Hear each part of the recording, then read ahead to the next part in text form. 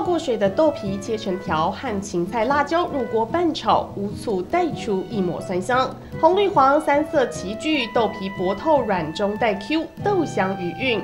酥脆芹菜增添口感，完美搭配，令筷子停不下来。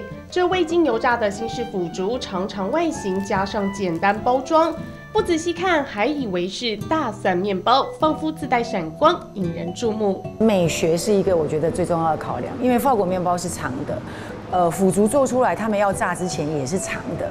只是说，哎，我有我的规格，我希望那个美学的概念到多少，所以我们就请林大哥帮我们做多长。另类构想让腐竹变身人气商品，刺桐农会总干事张玉轩创意行销豆制品，找上的当然也是在地厂商。参观众多豆皮制造厂，其中这位打扮简朴的林生天，以品质好技术家脱颖而出。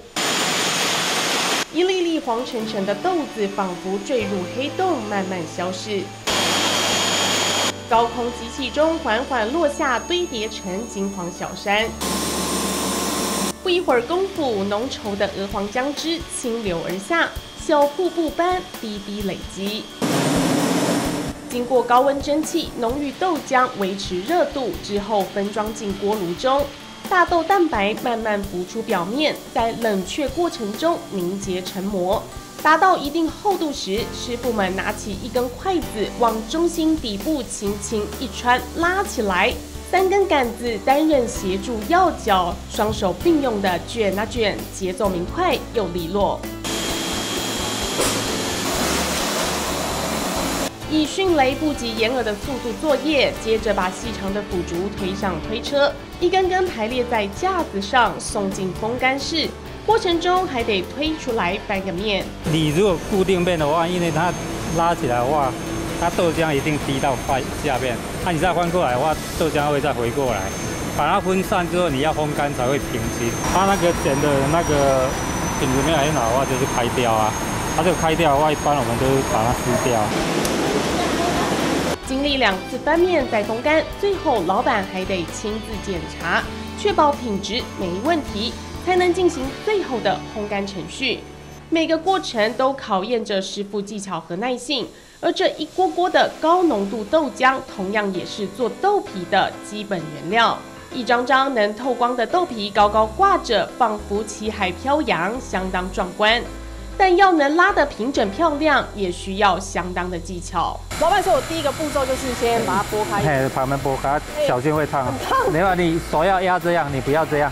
徒手将滚烫豆皮四面剥离，轻轻拉起中间一角，快很准的将筷子穿过去，再拉起来。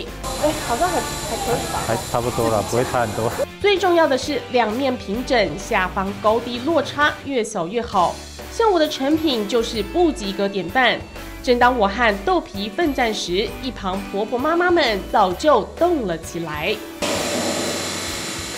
将挂在上头的豆皮一一取下，再一根根晾在木架上，紧密排列，甚是好看。老板告诉我，早期制作豆皮没那么简单。锅炉下方以稻壳当燃烧材料，常常是前面受热多，品质好。后面受热少，成品薄，容易破。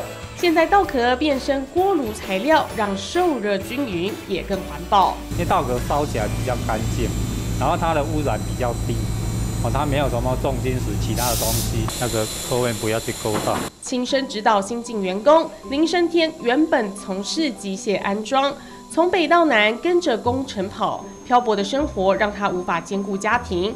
步入中年那一刻，他决定返乡，从头开始。在地人多从事种菜和做豆皮，从小家里就务农的夫妻俩决定从豆皮下手试试看。我们要做之前，我有请我太太先去别家豆皮工厂去上班，上了好像两个半夜，就是暑假那个期间最热的时段，他先去体验，这个大地啊冻会掉。